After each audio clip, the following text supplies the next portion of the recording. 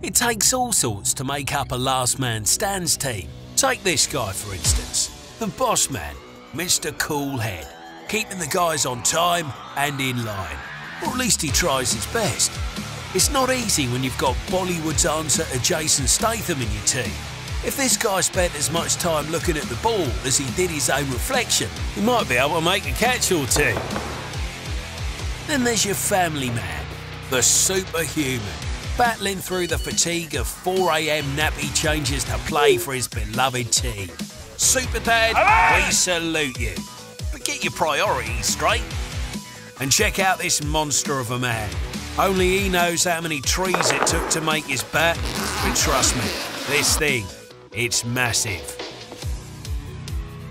Together, they are the Mighty Ducks. Yeah! Just eight ordinary guys doing what they love most playing some cricket. So, what are you waiting for? Who's in your last man stands team?